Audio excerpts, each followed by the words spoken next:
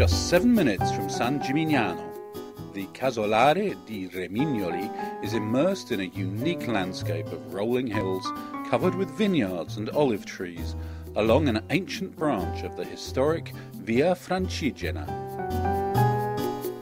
The farmhouse, finely restored while respecting its original features, preserves wooden beams, terracotta floors, and traditional Tuscan furniture.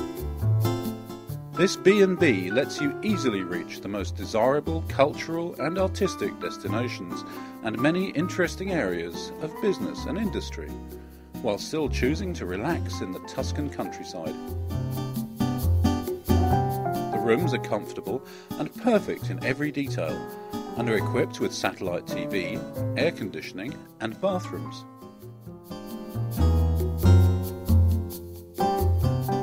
If you love sports, you can, on request, enjoy excursions, mountain bikes, or horseback riding. However, if you want to relax in the sun, you can enjoy the swimming pool, sipping a local wine, or reading a book.